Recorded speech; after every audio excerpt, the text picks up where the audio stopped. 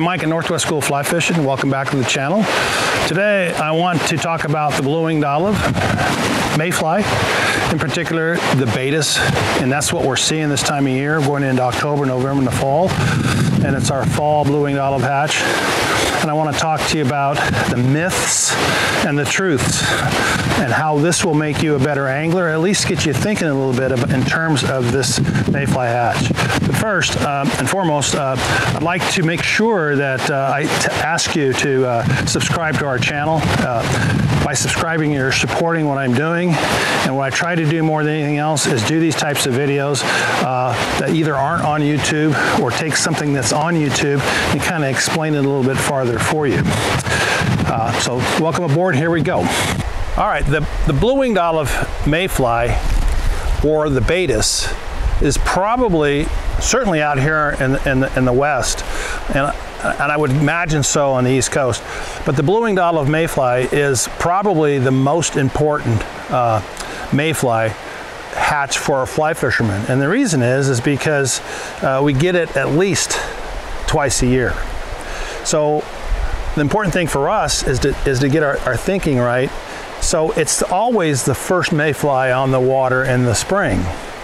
And it's always the last mayfly on the water in the fall or early winter. Having said that, so we got a blue-winged olive hatch in the spring and one in the fall, and it's one of only a few mayflies that will do that. Most most mayflies will emerge and then uh, lay their eggs and die, and it's over. Uh, and that hatch that might go on for a, a, a six weeks and then you won't see that hatch the rest rest of the year. But with the mayfly, we get with the blue-winged olive, we get it twice a year. And it's important in the spring because it's the first mayfly on the water. And these fish have been, they're hungry. All they've been eating is, is midges during the winter. And all of a sudden there's this nice hatch of blue-winged olives.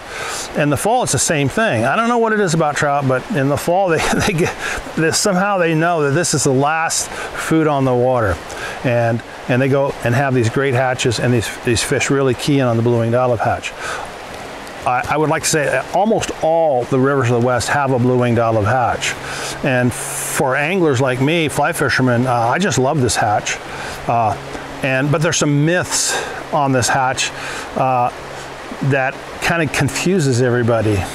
And, and the first one is you got to have overcast skies. It's got to be a, a, you know a low barometer, and, and, better yet, if it's it's misty or raining, then they really come out. Uh, well, that's true. Uh, you'll see those those types of hatches, but the on, and honest though. Uh, the reality is, is that I've, I've fished just as many blue-winged olive hatches in the bright sun uh, at a high pressure system.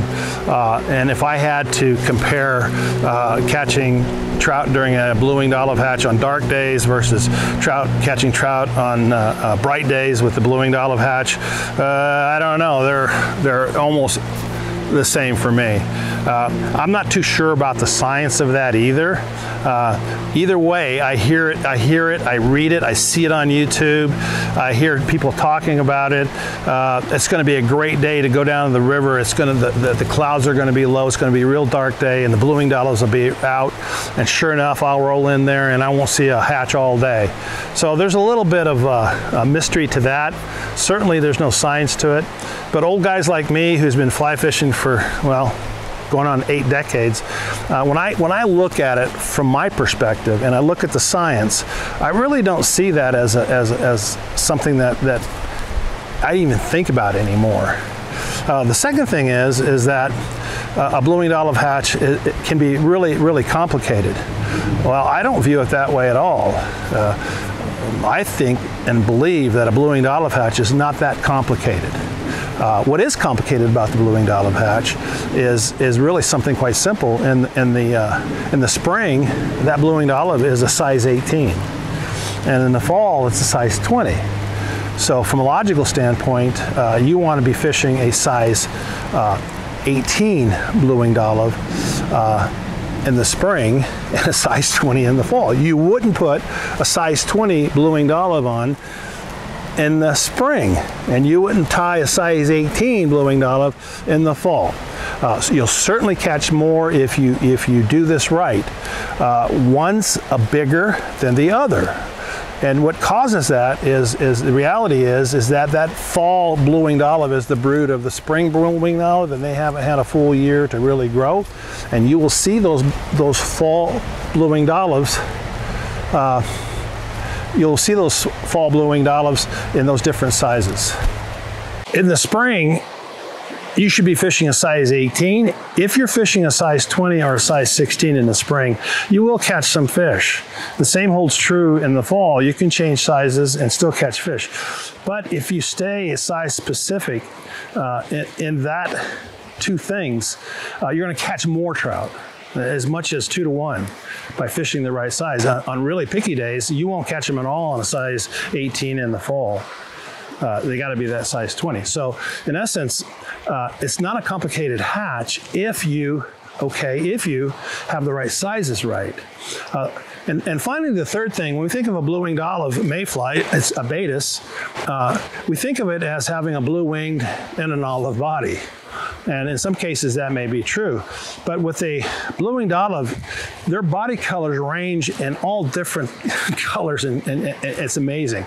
They will go from a black body to a really dark, dark, dark uh, olive body to a uh, uh, a light brown body to a, a, a, light olive color to a medium olive color.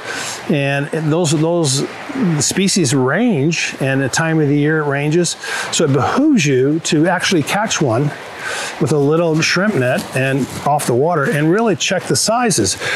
And the reason is, is because trout are triggered by color.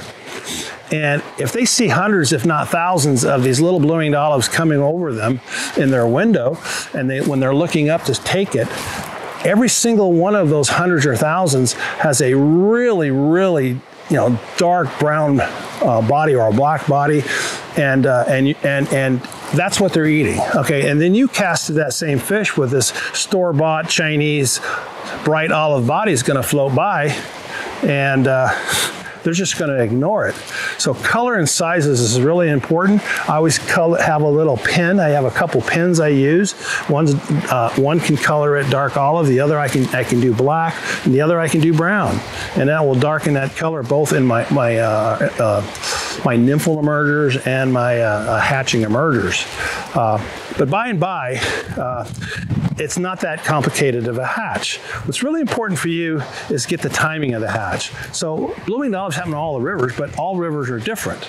Uh, you know, it's usually an afternoon hatch. It's usually on some rivers I can go. It starts at one o'clock, and it's going to go to four. I can go another river. It's going to start at two and go to three, and so on and so on and so forth. So you need to plan where you're going because this is happening on, on all our rivers.